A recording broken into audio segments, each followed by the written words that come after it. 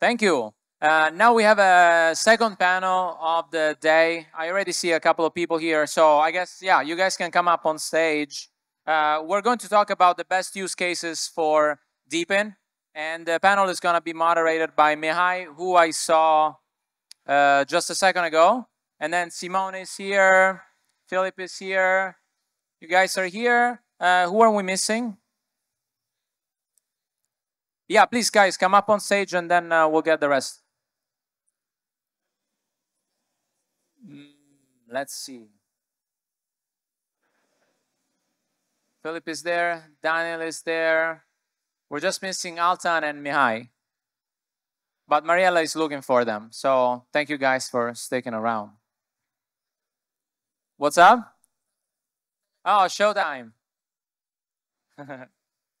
How are you guys enjoying so far? I mean, do you are, can you hear when they're talking? Like, is it resonates? Okay, great. I have to speak closer to the mic. Okay, good, good. uh, okay. What if? Um, mm, mm, mm, let me think. I think we need a moderator to start, and then maybe. Uh, otherwise, I could do it. But uh, Mihai was just uh, here. I just saw him. And uh, I didn't see Altan around. How about uh, we take like a couple of minutes to find the people? You guys stay here. Ah, that's a good point for Simone. Uh, oh, Mihai, if you hear me, can you come up on stage? Also, do you guys have any questions so far? I mean, there's been a lot of talks, there's been presentations, panel. Is there anything that you want to ask some of these panelists while we're here? Uh, it can also be non-DePIN related, you know, like what's what's their favorite food or where to go eat in uh, Brussels or uh, IoTeX related, like, you know, when $1 or, you know, things like that. Okay, no, very, very shy. Oh, there he is. All right, what an entrance. Last call for Mihai. All right, uh, it's all yours, man. I think we're missing Altan, but I think we can get started and then uh, figure it out. Test. Sup. All right. Three, two, one. Are you ready for the panel? All right, very good. I like the energy. Hello, everyone. This is uh, Mihai from Messari. I run uh, protocol research and um, I focus on DePIN. So today I got with me three panelists and uh, we're going to speak about viability of uh, protocols out there. Without further ado, I'm going to ask my panelists to shortly introduce themselves their project uh, and to tell us what is their USP. Simone, how about we start with you? Thank you, Mihai. Hello, everyone. Uh, I am Simone Romano, leading uh, developer relations at IoTeX. And uh, IoTeX uh, has been working since 2018 on the intersection and connection uh, of blockchain with the physical world machines and data. And along way we have uh, worked until we uh, came to our uh, fully modular infrastructure for helping DePIN projects to uh, get launched and grow easily. Yeah, that's it. So, hello everyone. My name is Philip. Um, I am not a part of any particular project, except doing my PhD, which I would say is also a long-running project during uh, the ECC, I already had a chat with a couple of teams, and actually one of the good comment they made, like PhD is actually like starting your own project because you are like a founder that you are coming up with the idea, you have to pitch it to the academic uh, people, and at the end you have to work on it for a couple of years until you graduate. Uh, when it comes to the research itself, I'm uh, focusing on the building blocks actually that are used inside of several DePINs. So namely, it's uh, regarding trusted execution environments, threshold cryptography, consensus, and many others. So in that sense, it's nice to see on how the individual building blocks can be combined in order to make a robust system that is definitely useful uh, for the future. Hey guys, my name is Daniel. I am the co-founder of Hotspotty, and we are now building a website called DePIN Hub. I've been in crypto since 2011. Uh, I have a background in electrical engineering, and but it was only after I understood what DePIN is, actually what Helium four years ago, is that I decided to go all in into crypto because I could really understand the value that crypto is building. I was uh, very early on Bitcoin, very early on Ethereum, but actually the passion for really going full time all in in crypto was after I understand what Helium was trying to do.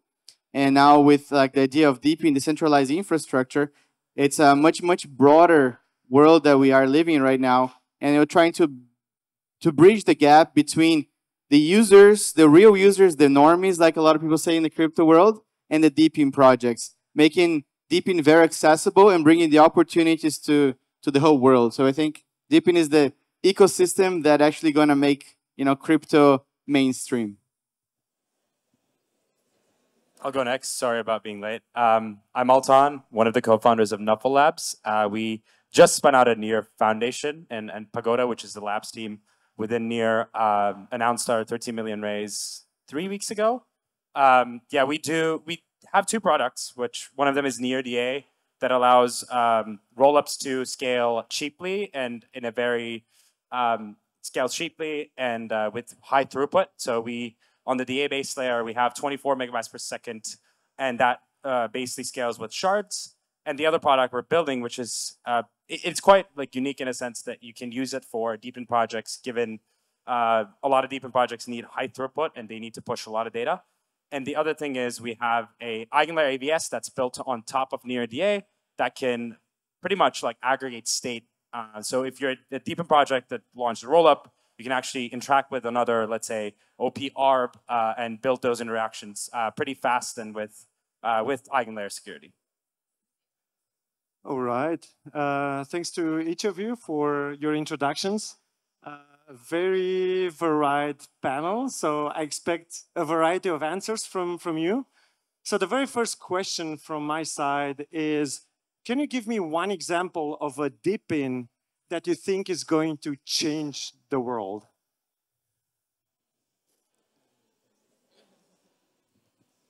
Well, um, I'm starting. So I think this is a tough question because uh, DePIN is still uh, in a very early stage. I think any DePIN project uh, is astonishing in, the, in this stage to me. Uh, I could mention the usual suspects, right, in the connectivity uh, and energy, right, uh, data collection. I think there are many interesting projects in these spaces. I can tell my personal preference, which is maybe a little bit uh, far, a little bit more, yeah, far in the future, which is that of autonomous devices. So when you can buy an autonomous car or an autonomous drone, just put it on the road, join whatever network it was uh, able, like compatible with, and start earning from joining a, a decentralized Uber a delivery, a drone delivery system. I think these ones are the most exciting, although maybe we have to wait a couple of years more for them. Who wants to go next? Do, do you have any example of something closer to today, something more feasible today? What do you think? For us, like it, obviously not from from our project. We work with IOTX, obviously that's one thing. But the other thing is um, it's very interesting that everybody has mobile phones, right? I mean, that's one of the things that you can leverage uh, when you're building DePIN. Uh, one of the things I'm excited about personally is uh, edge computing. How do you sort of like use your devices to sort of uh, basically everybody does inference on their phone to be able to run a model, and how do you provide that back to uh, something else to build something meaningful in a sense? So use your phones to build, do, do sort of uh, inference and provide that back to somewhere or some blockchain to be able to use that for uh, for any uh, useful reason. There's a couple of projects there which we work with. Uh, one of them is Valence Labs. They have a L2 or EXO is one of them as well that I like. Uh, essentially running, uh, being able to run bunch of phones together uh, for an inference network. So that's quite exciting to me. I mean, this is a very tough question, right? There's so many different projects that I think are very interesting and different projects in different areas, right? Uh, there's one that I've, I've been getting closer to the team as well. That they're solving a big, big issue, which is water. You know, like uh, we don't really talk about water so much, but there's this project called AquaSafe that what they're doing is building like a decentralized way that you can measure water quality around the world. You know, in, in a timely manner every few 15 minutes or so. And we know that water is going to become very problematic in the next like 10 years plus. And these projects are already trying to like gather information to how does that the water quality is going to change over time. If there's a flooding, if there's something that happens in the city, you don't know. The government has zero interest actually in displaying when the water is bad. They just want to show when the water is good, right? So I have one project. What they're trying to like build carbon credits, but for water, and uh, and I think that's very very interesting project. It's called AquaSafe. I think it's uh, interesting to to take a look at. And looking at it from the academic perspective, we as a chair have a long running experience with reproducible experiments and definitely where we see interesting aspect applications of DePIN is when it comes to sharing infrastructure, because currently each university, even within each university, each research groups is sometimes having certain infrastructure only used for their particular needs. So definitely leveraging the aspects of DePIN can, I think, bring all of the individual academics together, sharing such resources in a robust fashion. And I think this is definitely something that makes me uh, interested in the topic because especially when it comes to pushing the boundaries of, of research aspects, it's important to find the aspects of sharing, but also at the same time make it more accessible to other partners that maybe do not have the budget and do not have actually the enough capabilities to buy such type of dedicated specific hardware to push their research and later on they are using and relying on other third parties. So I think in that sense, it's interesting to see how these aspects can be brought together. Right. Speaking of uh, bringing things together, so I, I think these projects are visionary and they're very forward-looking, but the question is all the time, are these projects going to be viable over the longer term? And uh, from my perspective as a researcher at Messari, I'm looking a lot of metrics of success of these projects. So I want to ask each of you, and uh, I'm going to start with you, Altan. Um, what are like key performance indicators? What are metrics that are core to your business, something that you track on a day-by-day -day basis? Yeah, so for our business, I guess we we care about the number of rollups that's on mainnet and testnet. Right, I'll, I'll go into uh, DePIN later. Essentially, we have one rollup that's on mainnet. We have 15 sort of rollups come into testnet to use uh, NearDA, and then that will eventually become mainnet. Uh, but the the other thing is, I guess, from a DePIN perspective, um, how many devices you've sort of like connected to the network. Actually, the other thing is like maybe the the amount of money you're paying for that hardware and then how much you're generating from there and then what's the cut there. So that makes sense, right? Like uh, on average, um, in that case, like you can sum that and then you get a network sort of maybe like profit in a sense, right? And I would assume probably some of the projects won't get there and some of them will. Um, so yeah, I mean, we've seen that quite happen. And those are the two things I think that comes to mind is the number of uh, connected devices and then on average, how much uh, a device can make profit off of that. Simone, what do you look at? Uh, yeah, this is, uh, I think, very in interesting question. Actually, I, am talking always from the in infrastructure perspective because that's what uh, what we build. Uh, I think there are uh, different metrics. There are some metrics that are global for DePIN, right? For example, the number of devices or machines uh, as well as the volume of rewards right, that these uh, projects generate for their users, the number of users. Uh, then there are other metrics that are more project specific that are interesting. If it's uh, a network connectivity project, then the uh, network coverage, or, or uh, if it's a data collection, the volume or the quality of the data depends on, on the type of project. I think one important thing we should mention is how are we going to measure right, these metrics? So far, if you watched the, the presentation before, most, if not all, DePIN projects are running their, their logic in a centralized infrastructure. They're only distributing rewards on the blockchain, so you can only get or measure trusted aggregated numbers, like what's the total amount of rewards that uh, this project is transferring, right? But can you actually measure or trust how much data they are processing, how they're processing this data, how much like physical work has been really done and proven, uh, or how many devices are really being active, or uh, if you want, how much rewards every single device is generating to a user. This is important to trust this metric if you want to enter a device marketplace where I want to invest in an antenna and prove something, how much money this antenna is generating for me. If I want to sell the ownership or like rent that device to someone to earn money, maybe enter a DeFi application, right?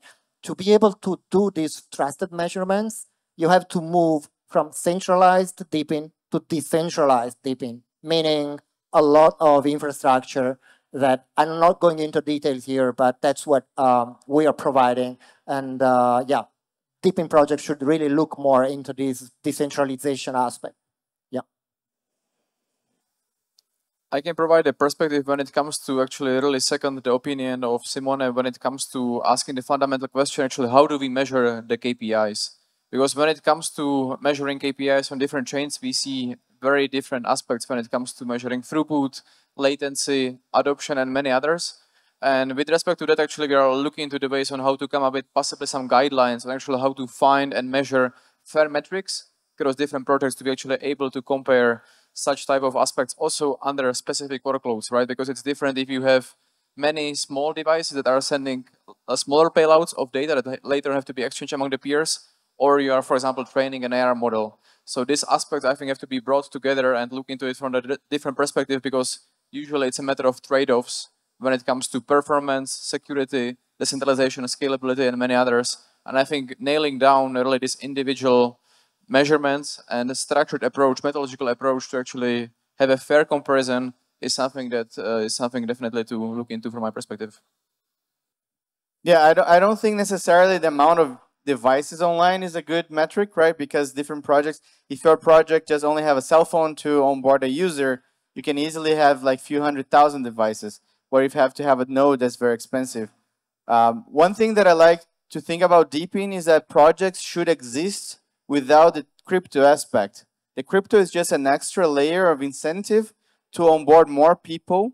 So I like to think that for a, pro a DePIN project to show real value, it's actually dollars outside of crypto coming into that project. You know, like for example, a, great example is the project GEODNET. They already had customers way before crypto, and then crypto is actually the extra incentive to really bootstrap supply and then grow around the world. But if your project's not having anything related to real money coming to the project, then maybe you're just in the wrong market.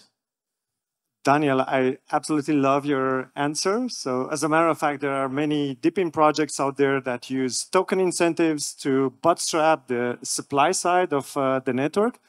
However, over time, there is the challenge of uh, actually having demand for the services that is sticky and uh, that will lead to value accrual longer term.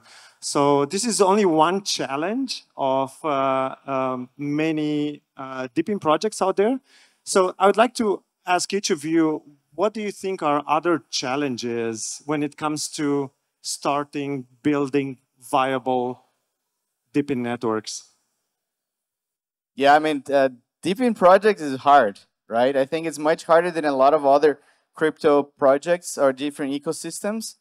There's first of there's this hardware aspect. You have electrical engineering. You need to build a device. This device, you know, manufacturing, fulfillment, supply chain.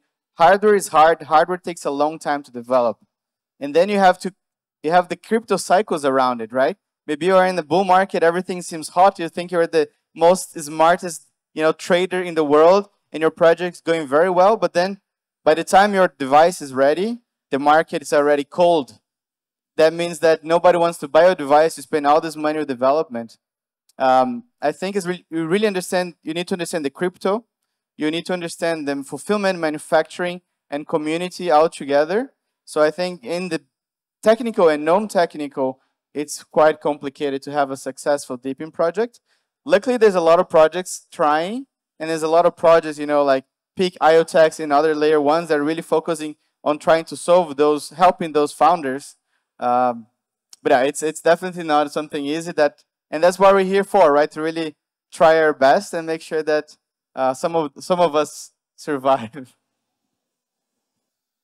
Uh, definitely from the aspect that looking at it, I see the biggest challenge is security. Like at the end, there are many peers in the system that might be malicious, might be actually honest, and definitely looking into the aspects of security in the system is very crucial. Uh, very, I think, useful solution for that are trusted execution environments. That is something that we are actively looking into on different levels, either for processing and other aspects, and definitely this should be, I think, something looked into in more detail, not only trusted execution environments, but other cryptographic primitives that can be used in combination. And I think this will generally build and improve the adoption because we have to build a security ground up before such solutions will have, I think, more adoption from my perspective. Challenges, right? So uh, where to start? uh, I, yeah, I think we can again split into uh, the current state of DePIN, what challenges they face, and maybe the decentralized uh, stage of DePINs, what challenges will they face?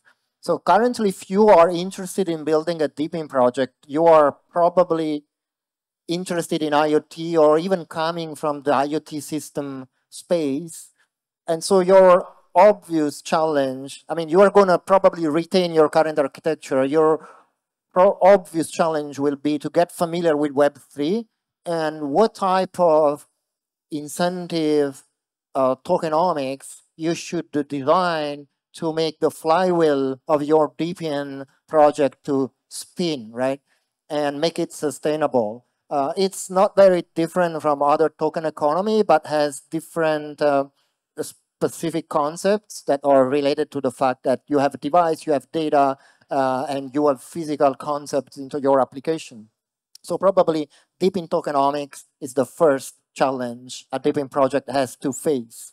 Next, you if you want to really become a decentralized DePIN project, meaning you want to achieve composability in the Web3 space, right? You want to uh, provide trust and transparency to your users and to the whole landscape ecosystem, then you are start facing a lot of more issues starting from how do I identify devices on chain? How do I identify or track the, the ownership or the decommissioning of devices on chain? How do I prove the DePIN computation that I do on the actual device data before I decide how, what, how much rewards should I distribute? How can I prove this to the users? Am I expert in um, cryptographic schemes? Am I expert in uh, verifiable computation? Am I uh, an expert in uh, decentralized identities, decentralized identifiers, uh, decentralized ID documents, and all these things? These are a lot of challenges that DePIN projects will, will have to face, if not now, in the future. Um, so these are, of, of course, challenges on, on the technical side there are other challenges on non-technical side, like regulations. I'm not talking about them. I'm not uh, in my comfort zone here, so maybe let somebody else talk about it. Yeah, I'll, I'll start thinking from the system perspective. Um, so how do you, when you get the supply, how do you keep that supply going while you also need to get the demand? Uh, the other problem, uh, I have a sort of a, I studied computer science and AI back in uh, two, three years ago, on my master's. One of the things you see is like how do you build a system where it's almost like it is asynchronous but looks like synchronous to outside and um, it, keeping that with different devices and different sort of even if you're a DePIN project running on aws how do you keep all of that sort of synced and uh, and seems like almost one system outside versus you're using a sort of variety of devices the other thing is like pretty much opportunity cost uh, a lot of hardware that sits everywhere can do anything right and we see this with, uh, we're close with the Eigen, we're within the Eigenlayer ecosystem. And you see this with the operators. They're kind of a DePIN if you think about it. Like they use the sort of the Ethereum's uh, security to do something verifiable outside uh, of Ethereum. Um, so they, everybody, the operators have some sort of an opportunity cost of if you're running a DePIN project A, they'll look at the DePIN project B, and then how does DePIN project A actually differ from the DePIN Project B and you still want to stay in DePIN Project A. So that's the question that a lot of probably projects will have to answer and look at the competition and say, hey, we're actually better than these folks because XYZ. And that's why uh, we have the better incentives for people to stay in the system. And that's basically going back to the, the same problem of supply and demand and how do you meet that sort of two things. I hear you guys. Um, DePIN is complex. So if I uh, summarize what I've been hearing from you, it's about the hardware aspects, it's about the software aspects, and it's about the economics aspects. So um, from challenges, I would like to move towards solutions. Um, Philip, you mentioned the trusted execution environments uh, just a bit before. Can you give some examples of technologies that you think are going to be viable solutions for, for the long term for DePINs? What's in your mind?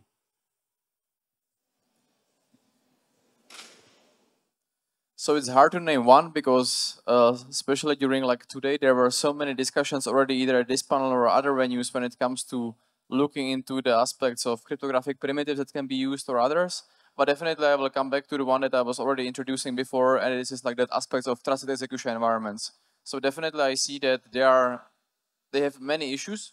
Let's let's face it, they are not perfect solutions, but definitely from the aspects of being ready and being in the market, I think they are already around for some time. They can be used and looking into it, for example, on various types of architectures that we can see. We already they are available on modern CPUs from Intel, AMD, or others they start to be quite usable when it comes to especially the VM-based solutions from uh, Intel or AMD, where you can just like deploy a whole of your application stack inside of a Dockerized solution, and you are getting these additional security features that basically make it obfuscated to the user and operator of the system, where you can actually just run your software in a trusted boundary, where unless the TE is compromised, the, the, the operator of the node doesn't necessarily know what is happening on it.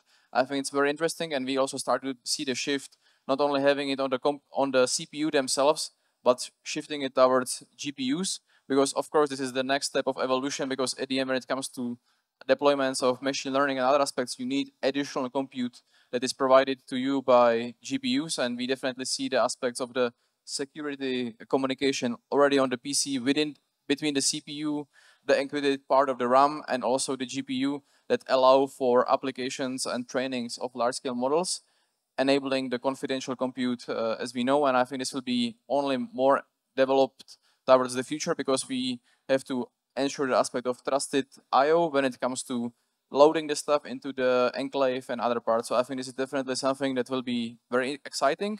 And also on that note, currently we only talked about single TE on a single machine, but I think other aspects will be that we, in especially in a DePIN scenario, we want to have multiple manufacturers having different set of TEs and they have to somehow communicate each other, offer comparable uh, security guarantees, and I think it will be also interesting to build up protocols that allow for su such type of solutions as well. So it's definitely something exciting uh, to look into. And the good part, we are not only limited to the classical uh, x86 CPU architectures, but start to see also aspects for ARM CPUs that already are there. Everyone has it in our, our phone as a part of ARM Trust Zone, but we also see, for example, aspect for RISC-V or other types of CPU architectures. So I think this, again, is helping with the aspects of heterogeneous uh, setups themselves. Daniel, do you have any yeah, this was like a, I didn't hear the question about the solutions for those problems that happened before, right? Like for example, this one is a very technical one. Um, we've been in crypto for quite some time and in working with so many projects. Uh, if you go to our website, DePIN Hub, you, you can see over 150 DePIN projects that all of them, I sit down and I had a call with them and try to understand their problems. Uh, what we're trying to, to solve is like, talk to the founders, realize what is the main issues that they have. Sometimes they don't know the, the crypto part. Sometimes they don't know, you know, some of the manufacturing. And we're trying to leverage our expertise as uh, being in this crypto for so long time, for being like a hardware engineer, for being uh, helping projects. We always try to, if you uh, if you are like a DePIN founder, try to understand your strengths and your weaknesses, and ask for help for the weaknesses. For example, there are projects that we're working for, helping them with fulfillment their project with manufacturing or community. That's one of our strong suit, right?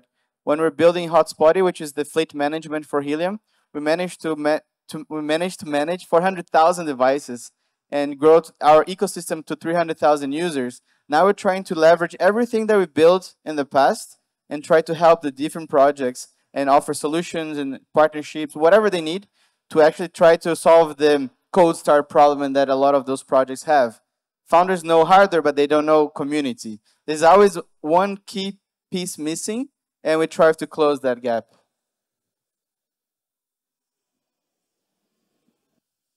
Solution, yeah, solution. So um, one of the things I can think about top of mind is if you're trying to bootstrap a network, let's say the supply side, there's actually a good sort of I'm going to go on the GTM side. You can actually go through existing networks and just start it like build that side of the network and say, hey, go do a deal with, uh, let's say, Huawei that wanted to get devices, or do something that you can actually bootstrap the, the demand side. It's a supply side. While you do that, try to do the sort of the, the demand side with, with the project that you want to sort of uh, go for.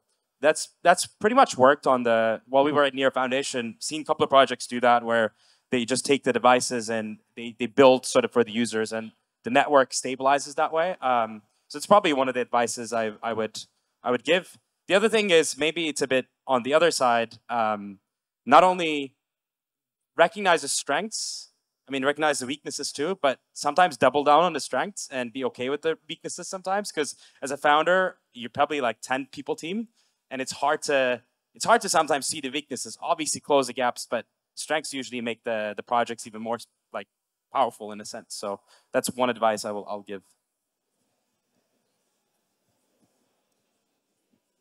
Okay. Uh, solutions to the challenges of uh, DePIN projects. Uh, we, well, we have heard about so many challenges and also solutions. I think uh, we have some good examples of projects solving some aspects for DePINs data availability layers for like collecting the data off chain, making it provably available to blockchain applications, user adoption, facilitating the adoption of uh, miners and uh, DePIN machines and hardware. So yeah, let me again bore you a little bit more with some more technical, uh, more solutions to technical challenges. Um, and uh, I've mentioned some, some issues. I think one solution to these technical challenges I've mentioned is for a DePIN project is to possibly refer to an existing infrastructure that can solve, if not all, most of these technical issues so that you can focus on the actual pin logic and not on the cryptographic schemes or the decentralized protocols that are required to make everything work. In general, you need to, I mean, at least we have identified like a layered architecture for DePIN. In this layered architecture, we provide several critical layers to solve some critical issues. So one layer is, of course, the layer one, which is the token economy layer then, then uh, you can choose from a layer two for verifiable computation. And we have also solved the hardware, hardware abstraction layer. So how you design and program your hardware in a way that it is uh, Web3 ready, as well as how you identify these devices and these owners with uh, a decentralized identity layer. These are some technical solutions that are needed by any DePIN projects. They are not solving all the problems, right? There are uh, problems like how do I store this data so for short term and how do I store them for long term, right? Uh, as well as how do I stream this data out of the device and how do I sequence this data to like achieve scalability, right? Before I can actually do some computation. These are still some open challenges that other projects actually are solving very well and hopefully we will see more uh, solutions to come in the future. All right, uh, we've heard quite a lot about uh, technical solutions out there. So um, I want to pick your brains on the forward-looking view on how the business of DePIN is going to do in the future. So here I'm thinking that where we are today at, most of the DePIN businesses are actually charging service fees for the services that they offer. And my question for you is, what do you think is going to be another way to monetize the services in the future? Are we going to stay with service fees or are there going to be other business models out there that will help DePIN businesses to be increasingly viable? Uh, I know it's a hard one, so who would like to, to start here? Okay, Daniel.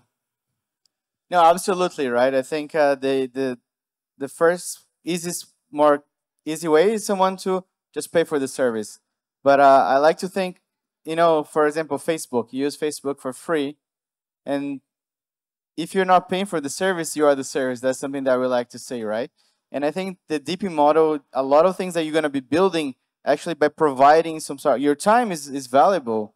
So uh, there's a lot of use, a lot of ways that people can pay for those services, and that could be with your time. Maybe if you watch some ad, you know, you get rewarded in tokens. Uh, I, I like business, models that you become a shareholder of that project by actually using it.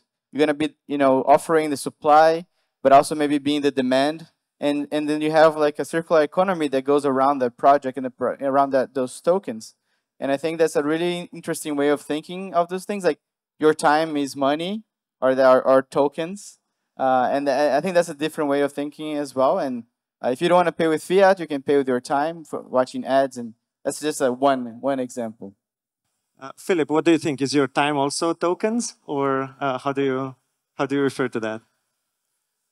I would say yes, but it uh, depends on the knife, right? It can be like one part is like you're watching an advertisement, but it can also be by providing value to the DePIN, right? You can help with educating people in the community. You can help onboard new users, and I think you can be also rewarded for for other activities that you do for the overall infrastructure that you actually plan to use. So in that sense, I think time is maybe a good approach, but it can be there can be additional innovation on actually how do you reward the person's time because maybe also like the expertise you can bring to the table might not be same for for everyone. And might be also more engaging for people to share their expertise than just watching advertisements as well. So maybe there'll be some aspects of innovation on that front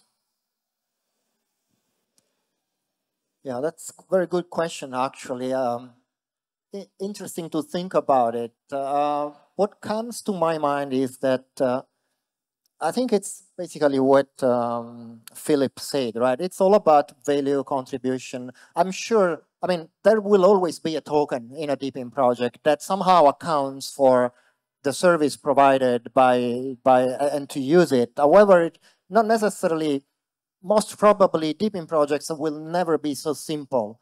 Uh, we are witnessing some initial projects, but 100% DePIN involves the physical world where we don't have uh, like a protocol that can verify what we're doing. So 100% there will, there, there will be many roles right into DePIN project, not only users and service providers.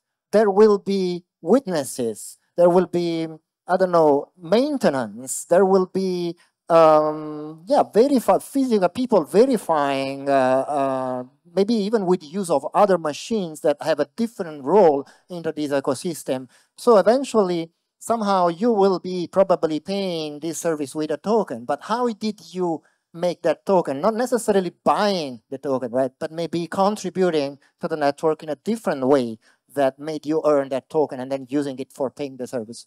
How this will evolve, I'm really like eager to to see it. Yeah. When DePIN ETF, that that would solve all the problems uh, on the buy side. But um, yeah, leaving that aside, I guess uh, devices. So we were connected to uh, everywhere, right, with the phones. So the business model I always love to see and kind of like is like the Brave model, where you know you contribute as a user and then you get something out of it. Um, and that's that's probably what I like. I like seeing. Uh, so giving the power to the users and probably uh, also relates to uh, Near's vision now, which is user-owned AI. Um, how do we kind of build those models sustainably uh, and along the way get an ETF would be great. You've heard it from them, uh, DePIN ETF. Parting thoughts. Uh, what do you want the audience to take away and go home and think about uh, when it comes to, to DePIN? Um, Daniel, you're smiling. Um, Sure, I always start, right? Uh, I can, I mean, I, can, I guess I can do a quick plug on what we're doing. Like, uh, we're focused on deepinhub.io, and I think what I would like the people to actually go home and do is like go and subscribe to our newsletter.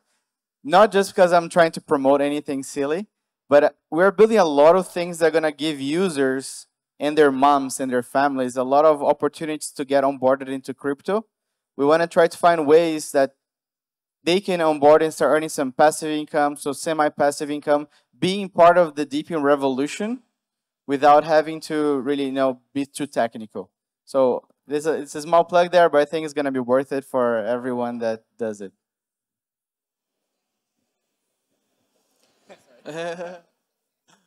So I think on the similar front is like the aspect of education, maybe more on the technical front because we already, when we are, for example, working with students that are just about to graduate from universities, many of these concepts actually are quite new to them. And even though they are just about to enter the job market, actually many times they have to catch up a lot on the technical aspects actually already as well.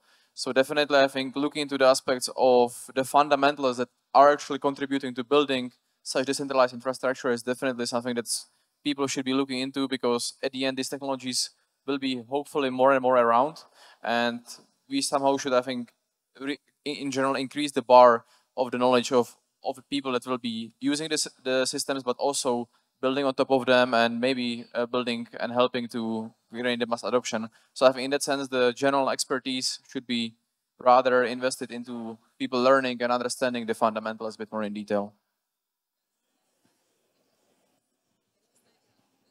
So how do you go going? Basically, like um, I've realized I'm not a DePIN expert, so I would do my homework and, and learn a bit more about DePIN myself. That's always uh, how to improve yourself in everything you do. Um, the other thing is always, um, I guess, it, check check us out at Nuffle Labs. We work with IoTeX. We give it the sort of the experts what they uh, what they want to use our infrastructure for.